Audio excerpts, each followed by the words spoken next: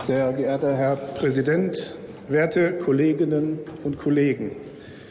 Der Haushalt des Umweltministeriums, der 2,3 Milliarden schwere Einzelplan 16, wirft aus unserer Sicht viele Fragen auf. Die wichtigste davon betrifft die Finanzierung der Klimapolitik. Warum verschwenden wir letztlich Hunderte von Milliarden Euro, die gar nicht im Haushalt alle etatisiert sind? Warum verschwenden wir Hunderte Milliarden Euro an Steuern und Abgaben für eine Fantasie, ja eine Zwangsvorstellung von einem grünen Klimaparadies in einem Industriestaat? Eine trügerische Verheißung, die niemand je erleben wird. Es gibt außer ein paar vagen theoretischen Klimamodellen immer noch keinen wissenschaftlichen Beweis für die menschengemachte Klimaerwärmung. Die Bundesregierung ist nicht einmal in der Lage anzugeben, wie hoch die vorindustrielle globale Durchschnittstemperatur sein soll, auf die sich unsere Klimaziele beziehen. Es wäre ehrlich, dem finanzierenden Steuerzahlern, den finanzierenden Bürgern eine solche Angabe, eine klare Antwort zu geben. Die Bundesregierung versäumt es immer wieder, zu sagen, in welchem Umfang Deutschland das Weltklima überhaupt beeinflussen kann, selbst wenn die vorgegebenen Klimaziele übererfüllt werden, die man mit horrenden Kosten verbunden sind.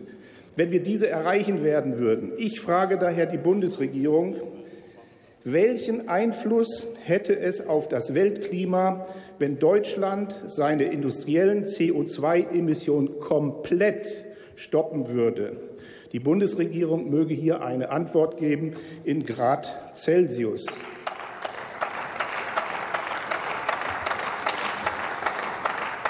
Aber nehmen wir nur mal für einen Moment an, es gäbe einen menschengemachten, bedeutsamen Klimawandel, eine Klimaerwärmung, dann ist Deutschlands Anteil an, dieser globalen Klimaerwärmung sogar nach den offiziellen Daten des Klima Weltklimarates fast gleich Null.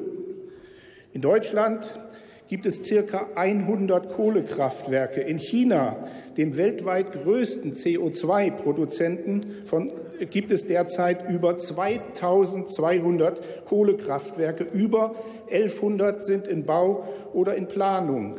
Für jedes stillgelegte Kohlekraftwerk hier bei uns in Deutschland kommen alleine in China zehn neue hinzu. Indien und andere Schwellenländer sind hier noch nicht einmal berücksichtigt. Die Bundesregierung entzieht sich immer wieder einer Erfolgskontrolle, da sich Deutschlands rechnerischer Anteil am globalen Temperaturanstieg nicht mal messen lässt. Und das entspricht sogar den Modellen auf der Datenbasis des Weltklimarates.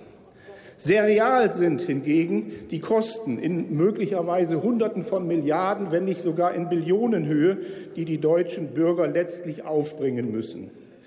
Wie vor Jahrhunderten die Kirche hat die Bundesregierung und ein paar und eine ganze Klasse von Klimapriestern einen Weg gefunden, die Bürger abzukassieren, ohne jemals einen Beleg für die Wirksamkeit ihrer Behauptungen erbringen zu müssen. Allein der Glaube zählt. Es gebe jedoch es gibt jedoch einen realen Umweltschutz. Es gibt einen realen Naturschutz. Es gibt jede Menge Maßnahmen, deren Wirksamkeit sich wohl innerhalb von Monaten oder Jahren prüfen ließe. Dieses wird allerdings in dem Haushalt kaum berücksichtigt, der mehr von der Klimaschutzpolitik dominiert ist. Wenn wir unseren Kindern, meine Damen und Herren, eine lebenswerte Umwelt hinterlassen wollen, brauchen wir keinen, brauchen wir einen solide finanzierten, wirksamen Umwelt- und Klimaschutz. Aber wir brauchen keine Klimaideologie. Vielen Dank. Ich erteile das Wort der Bundesministerin Svenja